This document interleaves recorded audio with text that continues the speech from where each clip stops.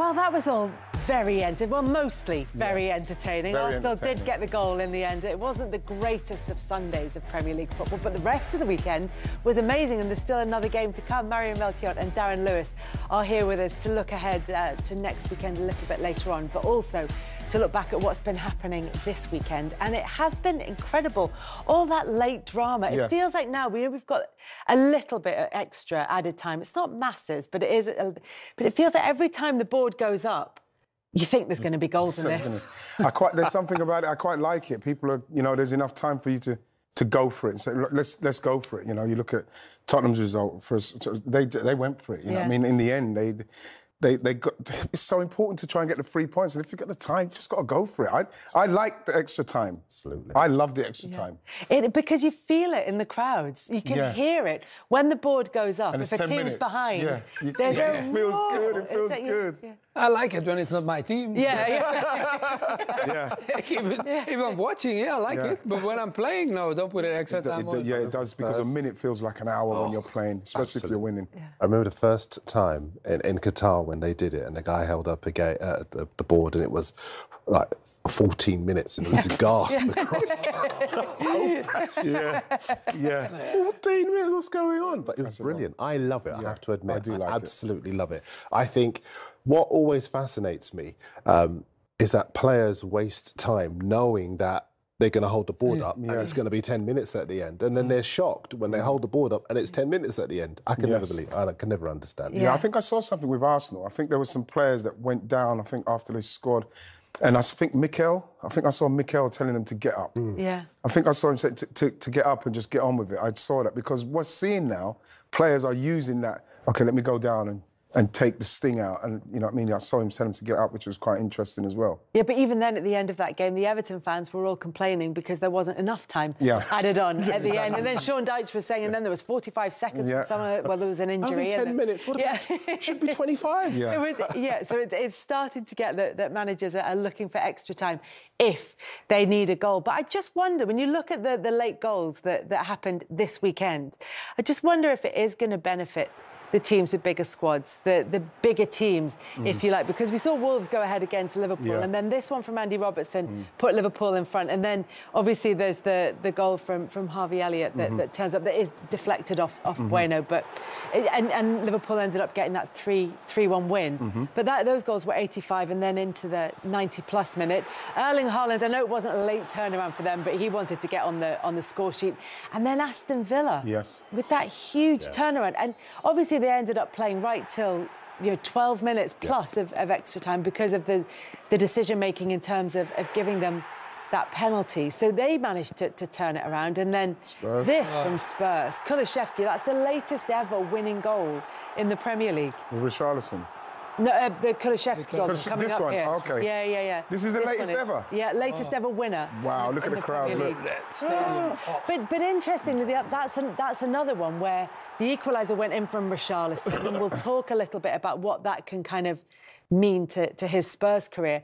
But the minute that went in, even following it on social media, and you could definitely feel it through the, the screen in the crowd, the fans were thinking, we can go and win this. Yeah. Mm. And they were already well into yeah. to added time. Yeah, you can see with Richarlison the way he got the ball out and went, and then they come back. What I was quite pleased to see there is our the rapturous applause and the, the celebration at Spurs because what happens with, with Arsenal because we've had one of those already this season. You know, where you score a late one, it's it's what it's about Absolutely. at the latter stages of a game, and you snatch it. You know what I mean? Yeah. It's like fans fans should be enjoying it like that. You know, yeah. people say they're saying, "Oh, the celebration police come out and say, oh, what they're celebrating like? It's only five games."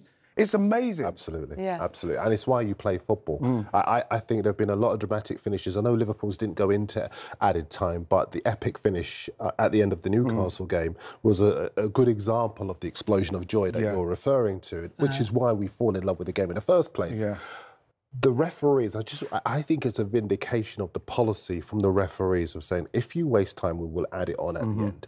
A lot of people say, oh my goodness, what's this going to do for, for player welfare? Mm-hmm. And you're not taking us serious. It's very simple. Don't waste time. Yeah. Wes Foderingham for Sheffield United went down twice in his game against Spurs, right? You saw that goal, mm. uh-huh. goal scored by Kulusevski. Both times the other goalkeeper was stripped and ready to come on. Right. Both times Wes Foderingham made a miraculous recovery mm. and he was back up yep. and he was able to play. And to us as an observer, it's my job to observe. Mm. It looked like an attempt to waste, waste time. He yeah. might say yeah. otherwise, so I, I, have to be fair to him. But from my eyes, it looked like an attempt to just run the clock down. Yeah, but now, do, yeah. we're going to use tricks, right? I mean, like even when we watch the game now, like back in the day, we would go go in the corner, right, and do something and whatever. But nowadays, I remember like my time. I had once they said you have to be 10th in the league. Imagine 10th in the league. People will go like, oh, that's silly. Why 10th? Mm-hmm. You got to win it. But that moment, it was like the team was going to get a bonus. It was a yeah. so we were like, Premier League, 10th in the league. Like, oh, okay, run to the corner. But there were a couple of moments where we were playing a game and one of the guys tried to dribble. We said, why are you dribbling? why are you dribbling? Yeah. They go, we got two minutes. Why are you dribbling? Just kick the ball in the corner. And we said, that's not football, man. You cannot do that. and then, and now that stuff is gone. Nice. You cannot do that anymore. Well, what, what, but it, but it, it's quite. I think that's a really interesting point that you make because the the whole focus has mm. been, and I know we're sort of digressing a little bit here to go back to stuff that we, yeah, we talked about no, at the start of the season, but now we've seen it play out.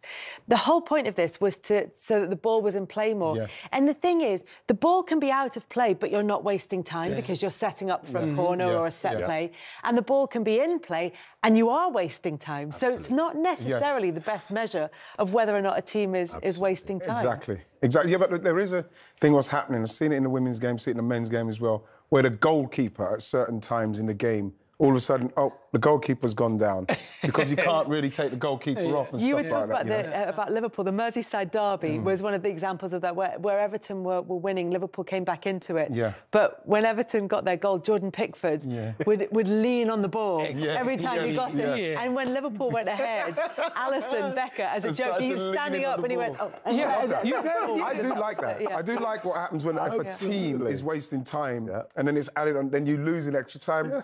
That's you what happened. can't moan. You can't. And listen, I, I remember at the start of the season where everyone was up in arms about it, but the solution is very simple. Don't, Don't waste, waste time. time. Yeah. Don't waste time. It's not even that difficult. Or be clever at doing it.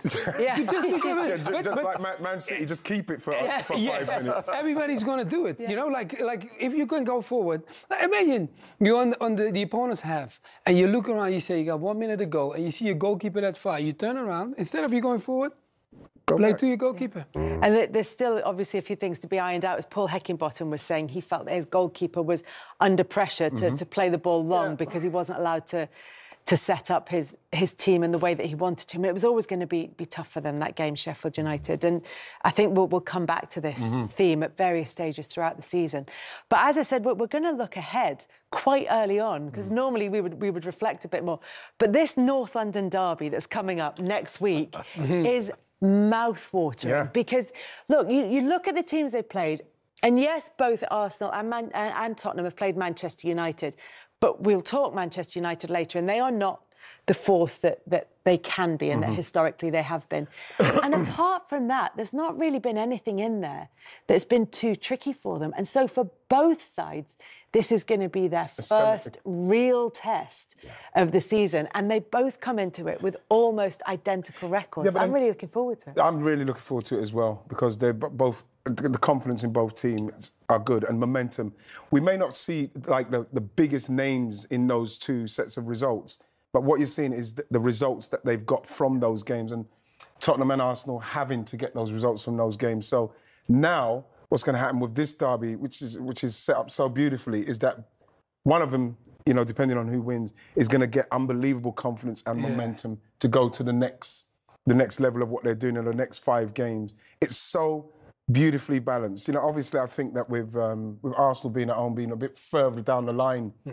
With the project, you know what I mean. You you you, you may be thinking that okay, Arsenal may be favourites in that game, but hmm. then you look at what Ange is doing with, with the Tottenham players and how quickly they've grasped what he wants and how organised, how intensified they are, how fit they look, how sharp they are, you think to yourself, "Whoa, this is just perfectly balanced. It's, it's, a, it's a beautiful matchup right now. Yeah, but he also did it re- pretty quick, huh? Because you know he had a big surprise. Of course, we don't have to go into uh, selling your main striker and probably the striker of the league, but then y- you got to adapt because sometimes, like, you don't realize how many goals he scored and how effective he was for the team, and then you need to get your own team the belief going because I'm sure when he was there, some of the guys were like, I don't need to do that. He's going to get me goals. Now they all have the confidence back. Some have to perform in a different level mm-hmm. because they have to score the goals. And then for us to go that quickly and build a team and make them be the way, and we early stage, yeah, still. But when have we spoke about Spurs that yeah. early that we say like, guys, right this now. is like this is a team to watch. And I look, I, I came from a rival team too, but I ain't lying to you. I'm watching them. Yeah, yeah. they're good. I Like and, and they're fun to watch. I think yeah. probably the last time we had sort of this positive a conversation about Spurs was under Mourinho. And remember when they were they were top of the league? Yes. Fairly early on, and there was sort of talk that maybe they could they could be mm. pushing for it. But like you said, it wasn't this style of football. It wasn't that kind of style that you were desperate mm. to, to go and watch. No, it wasn't. Um, but he's a really fearless kind of manager. He likes his players to play on the front foot. Undefeated at home all season mm. as Celtic manager. He's done the hard yards. I think he's a really good fit for this Spurs side, largely because um, a lot of people doubt him all the time. When he went to Celtic, who is this guy? A lot of people, uh, even working in our industry in the UK, were very disparaging about him. Mm. When he was at Yokohama Marinos, people were disparaging about him back then as well.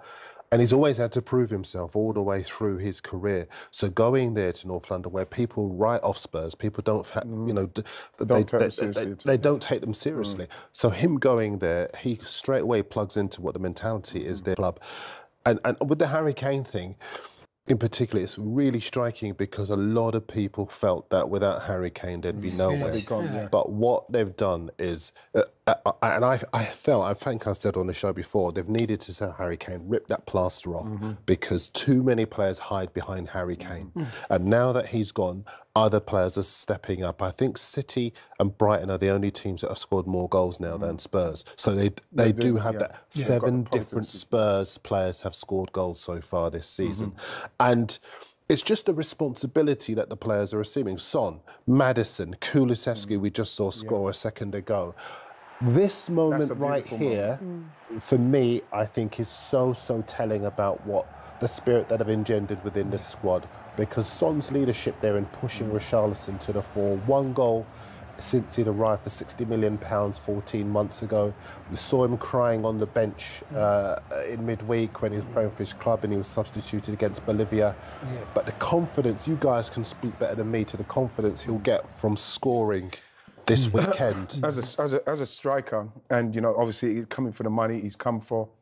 You know, everything what he said about his personal life and what's going on, the way he's been managed to get to this point, and you could see the backing he's getting from the teammates. Because you know that if you can get Richarlison back to how, you know, we saw him when he was really flying at Everton, getting back to that with Son playing how he is, you know, Kulusevski playing like he is. You see Brennan, John, Brennan Johnson when he starts to emerge. Maddison, you know, you've got Sarr, you've got Bissouma playing, Bissouma playing as good as uh, saw him when he was at Brighton, very stable at the back. You're looking at a team now that very confident and a player up front, if he can now throw in 10, 12 goals, which he's easily capable of doing with Richarlison now that his head's clear and everything, it, they, are going to cause Did you problems. have a period where you where you went for a goal drought and then a, a goal went in for you and then suddenly you were flying? Yeah, you, well, when you do go through that kind of spell, like a five, six, seven game, it's, it's you know it's very people hear it all the time. It's quite repetitive to say it, but you know you you just have to keep doing the same things. But when you're looking at the players now with the amount of information that's coming to them all the time, the things that's happening in their personal lives, the thing they have to deal with, it's very hard yeah. to focus on yeah. just trying to score goals and do There's so much going on in his head.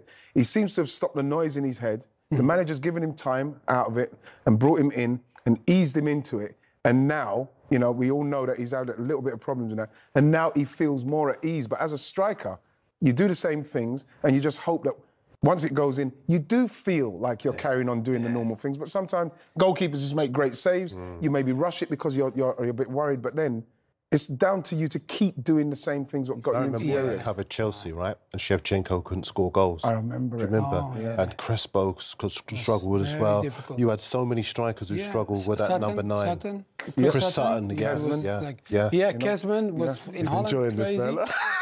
I think, no, by the way, no, no, no. We'll, we'll come back to Chelsea strikers hot firing later on in the programme. That's one of the things we'll be we'll be talking about. But it is, a, like you say, a historic problem. But for Richarlison, mm. this could be a big goal. And one, one thing you've all picked up on is, is Son pushing him forward. Yeah. yeah. And, and celebrations from other players within the squad. Ange Postecoglou has talked about, you know, that we don't know what happens in, in people's lives off the pitch. Mm. And there seems to be a real will from the rest of the squad. They want Richarlison to succeed, well, succeed. Yeah. not necessarily for the team, but for, for, for him. him. You, can, yeah. you can see that. You could see that, you know. And also, when you when you watch a Son as, as a captain, right, there are two sides that I saw during that clip. If you can read it really quickly, you can see a guy that wants to lead his team, but also understand the human side of a player that you can feel it in yourself sometimes. If something goes wrong with, with one of the players in the team, sometimes people forget it. They think like, oh, Man, people always think about the money we make, but they forget the human side that is making the money because without being a human, you're not making anything. Mm-hmm. So I also like, I'm not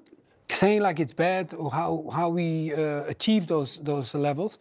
But one thing I want to make sure that people understand is we enjoy our job, but when it doesn't go well, it's just like anybody else. if your job doesn't go well, you come home and you say you had a bad day.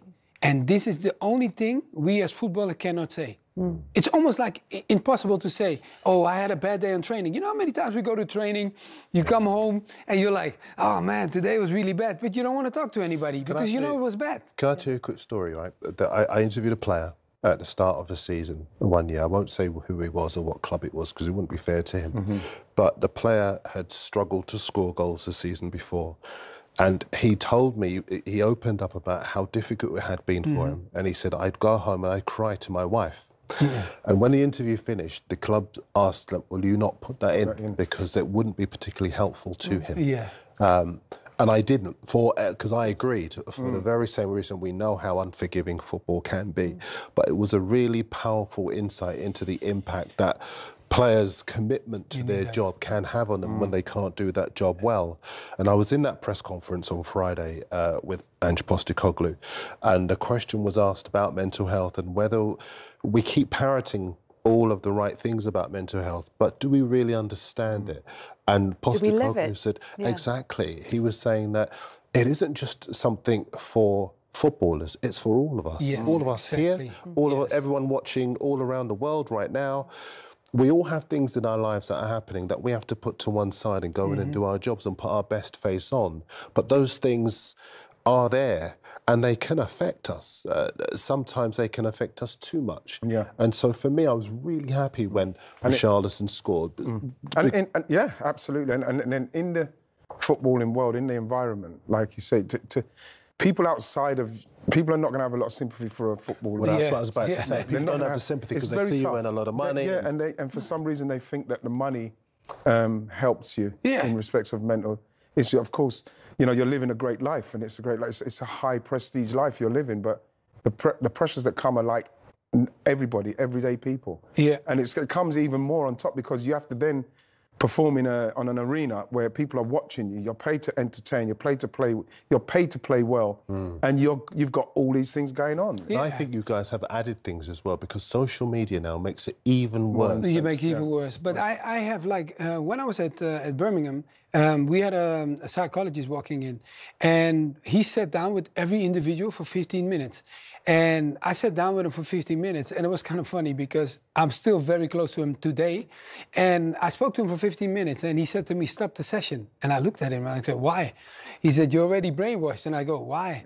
I said, Your mom did a great job in believing in yourself because his objective was to make us believe in ourselves. And then he was telling me how many guys had doubts in themselves in certain things because that aspect comes in when we perform and we don't perform. That is the shake that a lot of footballers have, right? When things go well, we believe in ourselves. We say, "Oh, we are great." Mm. But when things go back, that's when we start start downing ourselves. And I think uh, Mike is his name, and. Um, every time when I actually when I come to London, I always talk to him or whatever. But he tells me now because he still works with certain individuals in the game And the stories that he tells me, and he cannot, he never calls anybody's name, but he always talks about the self belief mm. because that is always the one that is big. That's and that's also in a human's normal one, life. Yeah. Like the self belief, mm. I think anybody that's watching us now is doubting himself sometimes too. And he always says to me, he said, always make sure that your picture is clear in front of you, that you know what you want to achieve. Then it doesn't matter if you're not yeah. get there today, the picture is still you there. Still you will get there exactly. I think one of the key things about the weekend, sorry, go, but one of the key things about this entire debate for me, because I, I, work in sport, but I also work in the, the other sections of mm. my newspaper as well what Richarlison did last week goes beyond football. Mm. There are so many young men who don't speak mm. when they're feeling mm. vulnerable. And, you know, again, I, we joke a lot on here, but this is such a serious, powerful yeah. message that Richarlison gave yeah. out. Mm. It's okay to say that yeah. you're not okay. Mm-hmm. It's okay to cry. It's okay. it's okay. to admit that you need help. Mm-hmm. And I felt he the goal on Saturday for me, that wasn't the brave thing he did. The brave thing he did was saying to everyone, as a young man, mm. I, I, and given the statistics around people who um, don't get through moments like this, it's important as a young man to say, I need help, mm. yeah. ask for help. Yeah. On the, the subject of, of self belief that, that you were sort of alluding to there, Mario, one player who's, who's going to have to be drawing on his reserves of self belief in the, in the coming weeks and, and, months is Aaron Ramsdale because it looks as though Mikel Arteta is, is going to be switching between goalkeepers for the foreseeable future, certainly in terms of, you know, playing David Raya in the game against Everton yesterday, and also because of what Arteta said about, you know, there are times when I do want to change a goalkeeper yeah. in the middle of the, the game because that would be the thing to do, and and why shouldn't I why shouldn't I do that? Look, in, in terms of the the clean sheets that they've kept, Aaron Ramsdale is, is ahead on that. Um, but in terms of um, things like save percentages, Raya's ahead. He's made fewer errors that have led to goals. That you know, there've been all kinds of comparisons made between these two, and obviously a lot's been made of, of Raya's distribution as well, which is, is something that that um, Mikel Arteta is going to be looking at. Just because something's the way it's always been done doesn't mean it's necessarily the right way to go forward. Uh-huh. But can you, do you think, have two top choice goalkeepers. Now, before you before you answer, Burnley had three at one stage, mm. didn't they? They had uh, Pope, Pope, Heaton, yes. and I can't remember the other. Oh, yeah. I could remember. They had they had three they had three goalkeepers at one stage. Uh, Henderson was it Henderson? Henderson, yeah. yeah. Um, so there were there were three of them, and then I think that you know there was a time when uh, Sir Alex Ferguson mm. had. Um, Lindegaard, yes. Lindegaard with De Gea when yep. he when David De Gea was just settling um, in. Yep, yep, So it's been done temporarily. Mm-hmm. Well. So is it a long-term plan? Is it well, something that we could see? well, what's going to happen is we're definitely going to see. There's going to be enough games this season for him to switch it around. I thought it was very interesting him saying that he felt upset about the fact that what, during the game he wanted to maybe change the goalkeeper, and he didn't do it, and he was upset that he didn't go through with it. Mm. I think that it's um, in Mikel Arteta's mind, it's fair game to have a goalkeeper, two goalkeepers of, of, of number one stature. Mm. Um, because if you look at the Everton game, it's the margins. If, if Arsenal are going to try and catch City and do it, it's going to be the margins. And he believed, after watching last season's loss to Everton with set pieces, I need a goalkeeper whose main attribute, one of his main attributes alongside his, his distribution, is his coming of collecting the mm. ball, which he done unbelievably. And those are the margins. And what I like is that he's brave enough to say, I might do that. Yeah. Now, you say about Aaron Ramsey, and now that's going to affect him. Aaron Ramsey as a number one at a club of Arsenal. St- I, I, keep saying that too. I, I, keep saying that Aaron Ramsey. Yeah. Ramsey. Aaron, Ramsdale, Aaron, Ramsey. Aaron Ramsdale as a number one at a club of Arsenal stature should always be thinking this could happen. Yeah. yeah. There's enough games for both of them. They're both going to push each other. Mm. And, and then now it comes down to your professionalism and what and how you react to it. This is what we're going to see, how this plays out throughout, throughout the season. Because Mikel seems to me like he's he's ready to go on this, mm. yeah. and he's going to choose the goalkeeper he believes is best for that particular moment, like you do with a strike. Yeah, but he, you know what was good? What he, what, what I do like, I have to say, as a, as a defender, is the calmness that he brought to you. You know, like Raya plays and he brings calmness to the team, and and that was particularly in that game of yesterday mm. that they needed. And we we talked about it before. When you have a goalkeeper, you have one that is maybe good on the line, and he stops the ball for you. But if you have one that comes out and catches the ball, and sometimes I could be marking someone, like let's say I'm marking you, and you're maybe stronger or you're no, taller you're marking or whatever. Shearer. You're marking Shearer. You, okay, even worse. Uh, I'm marking Shearer. And, you know, then I'm like, I'm, I'm holding him like, oh, God's enjoying that. Oh, Shearer might give him more oh, problems. You, you, I have marked him, believe me, and I know it wasn't easy. So then when the goalkeeper comes up and then catches the it's ball relief. for you, oh, you're so happy. you sometimes you look at your goalkeeper, go like, you're cool, man. But what's going to happen? I believe what's, what's going to happen with that is that we're going to see see. We're going to see how it goes because you're right. Yes, he has got a very calm nature. Very yeah. his distribution's brilliant. You saw yeah. it yesterday, a game that could have really gone against Arsenal mm-hmm. with the set pieces, and he kind of like really dealt with that very well. And I, I'm I'm all for it simply because of the level that you have to try and get to, yeah. the margins. It's like, again, with the set pieces, Arsenal, with the, what is the point of Arsenal continually putting corners into Everton, into mm. Onana, into Branthwaite, mm. you know, mm. into Tarkowski, into all of those big players, yeah. Mykolenko. You pl- so they took what is it seven or eight short corners yesterday? Arsenal eight of the eleven eight of the, passing the shape. You see them all out of shape. Bam. That's the margins. Arsenal didn't have too many shots. It didn't pepper the, the goal. You know, it was at one stage in the first half, it's 78% possession. Mm. It wasn't that kind of game. It was a game where this is going to be on one chance and the margins. This is why someone like Raya will be in goal for certain games. Mm. And this is why all of a sudden, okay, we'll take short corners because we're going to have to move them about yeah. to get it in because that's the way we may score. I like it. I like the fact that he's thinking so out of the box in what he's trying to do at the moment yeah.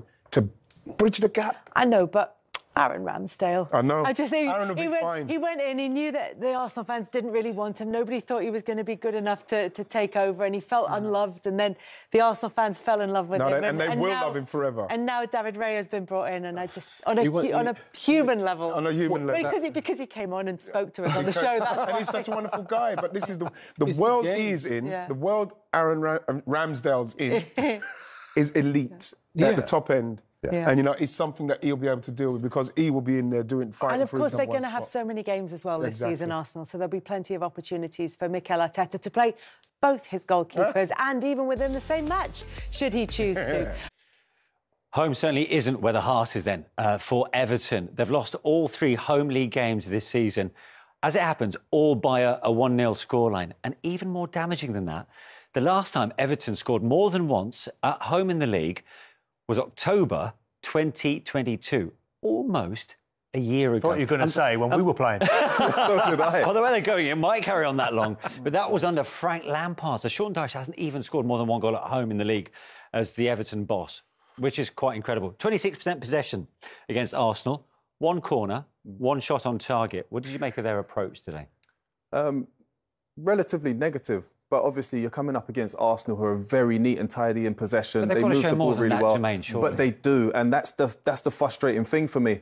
You look at the the players that Everton brought on today, and I was quite surprised to see Beto going off and uh, to be replaced by Dominic Calvert-Lewin. Look, if you're up against it, put the ball, put the, the two big lads up up top, and go long. Play direct make it really uncomfortable. You're not going to outpass Arsenal on the ball. You're not going to outmaneuver them. You're not going to outsmart them.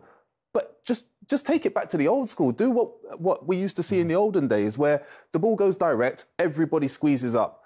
The two centre halves for Arsenal would not have enjoyed playing up front against uh, playing Beto, at the back yeah. against Beto and Dominic Calvert-Lewin. So that's what they needed to do a little bit more. Yeah. Take it back to similar to what Sean Dyche used to do while he's at Burnley with Chris Wood and and uh, Ashley Barnes. Make it an uncomfortable game. But it was frustrating to, to, to see him to, take those guys and use, take them off. To use an old school phrase, if you're going to try and bully Arsenal, at least do it right. Yeah. Don't mm. be half-hearted in your approach. So if you're going to have 26% possession mm. and you're going to bypass the midfield and go long, do it properly and go long with purpose.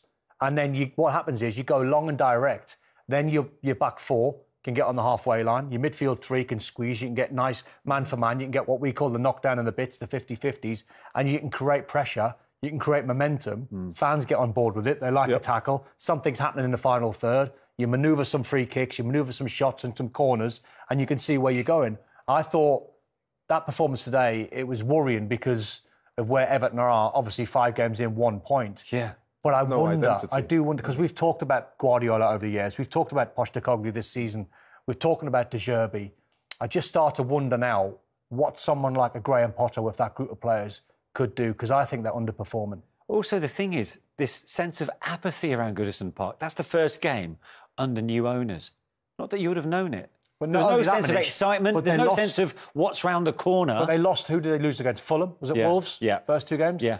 You know, you, you've got to pick up some serious points now because you're five games in, your relegation battle. The, the, the games that are coming up off the top of my head, they've got Brentford away. That's not going to be easy. Mm. There's every chance that Brentford might win that game. Then I think they've got two home games on the on the spin. They've got Bournemouth and Luton. Yeah. You have to take six points from those two games. It's I mean, a must. You boys won't need reminding. They only survived on the final day of last season. But five games into this season, how worried are you for Everton? Um, very. Look, there's no real identity in the way that Everton are playing. Like we said before, if you go direct, go back to front, and then squeeze the pitch up, uh, squeeze up the pitch, that's an identity. That's a certain way of playing. At the moment, there's you don't really know what their what the game plan is. No. You know, get the ball out wide to Danjuma, get it out wide to um, McNeil. Dwight McNeil. Put the ball in the box nice and early. They're not doing that either. No, but there's no shame to losing to Arsenal because they are becoming quite a heavyweight force in the Premier League under Mikel Arteta. And as it happened, uh, Leandro Trossard came off the bench, of course, for the injured Gabriel Martinelli to score the all-important goal. Is this it's good, sort of like a, a training ground routine in some well respects. rehearsed. Yeah, yeah, it's very could, well rehearsed. It's patient. You can see the movement of all the players. They all know where they're going to be. They all know what they're going to do. Saka pulled that little cutback to, to Trossard, and he didn't even look, which means look, they worked on it. Look at Trossard's movement there, just on the edge of the 18-yard box. Never standing still, always on the move. Saka, always on the move. That's a manager. That's a manager in Arteta. Drilling them in. Yeah, thinking outside the box, thinking right. If we get wide free kicks and we get corners, are we going to get any joy by putting it direct into no the box? Chance. No chance. Mm. So you've got to try and come up with little game plans, mm. wide free kicks, short corners, etc., to try and manoeuvre the centre backs into uncomfortable positions. It's a great training ground goal. Patience was the key for Arsenal because earlier in the game they thought they had scored through Gabriel Martinelli. But it was disallowed. Let's speak to former Premier League referee Chris Foy, who's a regular on the show. Chris, always good to speak to you. So explain to us why was this chalked off? Yeah, it was chalked off because when Gabriel passed the ball uh, to Nketiah, he was in an offside position. And of course, they, Arsenal retained possession. They passed the ball around and, and Martinelli scored a goal. I think the fly in the ointment that confused a few people was when that uh, Gabriel passed the ball forward. It actually deflected off Beto. It wasn't a deliberate play, and people were thinking because he's touched the ball, that makes him onside, which isn't the case. And the law's quite specific now when it talks about deliberate play deflection. There's the deflection. Um, he comes back from an offside position Nketiah. They retain possession in the attacking phase of play, and the goal is quite rightly disallowed. Uh, an, an, excellent piece of VAR in that situation, Manish. Yeah, and this is where we've got to make it clear. It's all about whether that touch was intentional or not. Yeah, is it a deliberate play or yeah. is it a deflection? It's talking about, you know, coordinating your body movement, the, the distance the ball travelled was very short, time, limited time to react. So it's the right call. Yeah, great use of VAR, that isn't it? That's what we want. You wouldn't right? spot that in real time. No, fact, you didn't spot it. No. I don't think. I think very few people saw that. What's intriguing is the initial pass. I think it was Gabriel was looking to pass it out to the right. It back, was Ben yeah. White. So the pass initially was going out to the right. Uh, Beto's touch took it directly through the middle of the pitch. So I, I was intrigued to know if that would have played any part of it, the direction of the pass. Chris? No, it, it, it's no. not, Jermaine. It, it, all talks about deliberate play or deflection, mm. and that yeah. quite clearly was a deflection. All right. Okay. Chris, thanks very much indeed. Um, Arsenal fans will be delighted to see the back of Everton not ending their hoodoo. you know, we could limit Spurs to efforts from outside the box, which Wes dealt with and dealt with well, and we dealt with balls into our box. So, yeah, I think sometimes you've got to accept that you've got to give something away, and we defended our box very well. Um, yeah, and uh, went in front, missed a couple of really good chances ourselves.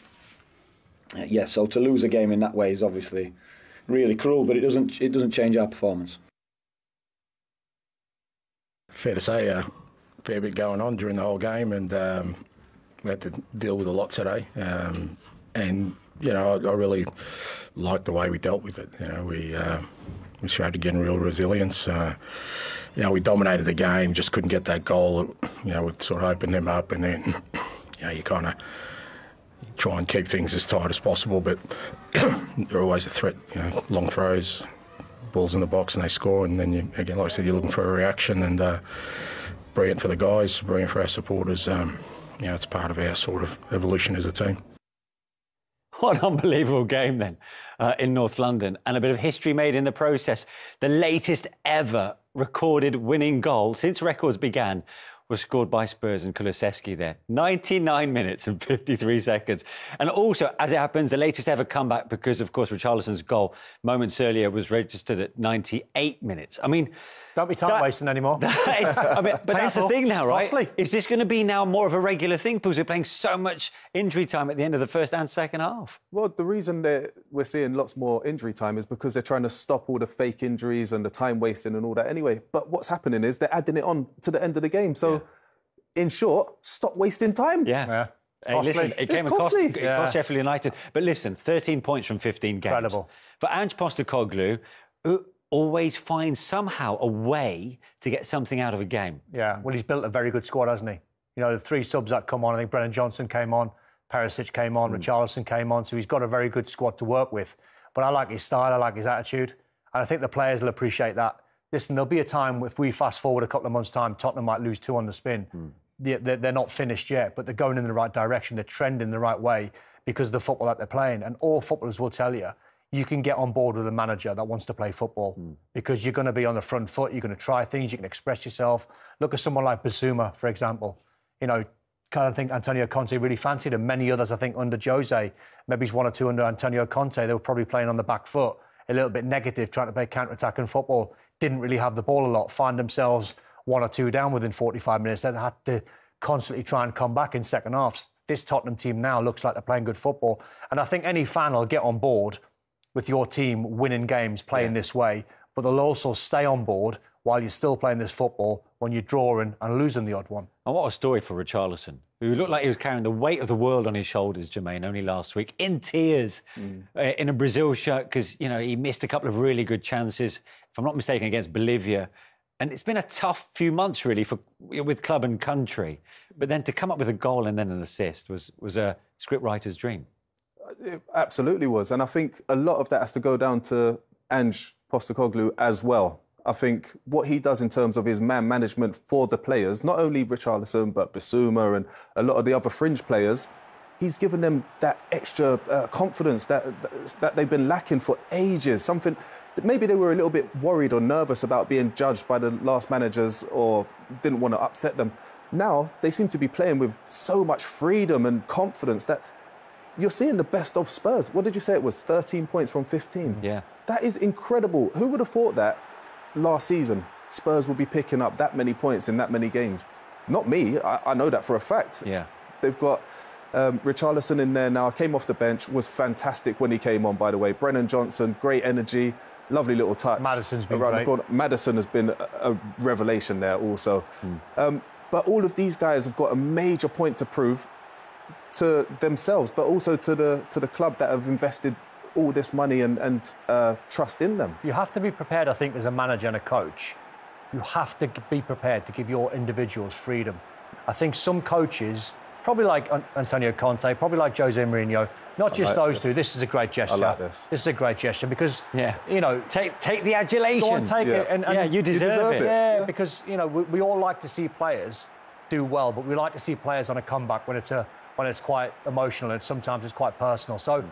give him all the credit that he deserves for coming out and issuing that little statement where he said he wants to see a sports psychologist. But my point is under under Postecoglou, I think you have to be prepared to give your players freedom because as a manager, if you're Antonio Conte or Jose, not just those two, but those two come to mind because they were previous Tottenham managers, if you constantly put the handbrake on and say, Jermaine, don't do that, don't do that, don't do that, all of a sudden, when you get it, you're going to think safe. What am I, I supposed to do well, now? I'll, I'll, play safe. You're yeah. thinking about it rather than just but doing I want to try a trick. Yeah. Mm. I want to try a Cruyff turn. I want to try this. I want to try that. Express yourselves. That's what he's got in a group of players, but that comes from the manager. He's turning them into a very different beast, is Ange Postecoglou, and yeah. trying to get rid of that narrative that we know about Spurs and crumbling under pressure. Arsenal and Liverpool next. Is this yeah. the real kind of, I suppose, I suppose, the way that we're going to measure the, the improvement that they've made? Well, listen, this is the best time for them to play those teams. They're going into it full of confidence. They've got a, a whole load of points on the board. So even if they do lose or get a, a point out of them, it's not the end of the I world. wouldn't judge him on it. No, I wouldn't judge them for, on it at wouldn't all. judge him on, on those two But it gives, it's an early indicator. I would, I would judge them on what happens after these two hmm, games. Okay. North London. I'm Derek Ray, joined here on the commentary box as always by Lee Dixon, and looking forward to bringing you action from the Premier League coming right up. It is Tottenham Hotspur, and they take on Sheffield United. Well, I'm excited about this one. Great atmosphere in here. Everybody looking forward to this game, especially me and you.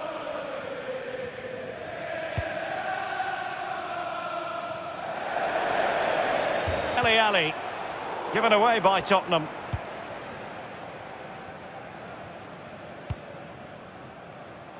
David McGoldrick.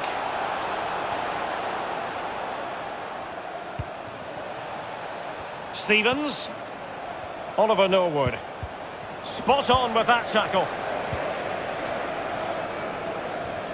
And we're looking at a player who seems to be at the peak of his powers now, Heung-Min Son. Oh, in with a chance! The net is staring him in the face. In it goes! An early opening statement in this match. And look at the celebrations. Well, as we see from the replay, it's a classic pullback cross that sets up the chance, and it all leads to a 2v1 on the keeper, which he really doesn't have any chance with. It's a great team goal. 1-0 then. Goal for Tottenham Hotspur, number nine, Gareth Bale. Kane. Great vision from Harry Kane. Dele Alli. And another one! Two quick goals! Will it turn out to be the two-punch knockout? Well, here's the replay. He didn't panic, did he? Decent strike, good technique, bread and butter strike, really, but it's in the back of the net. Slightly different vantage point in terms of the goal that was scored.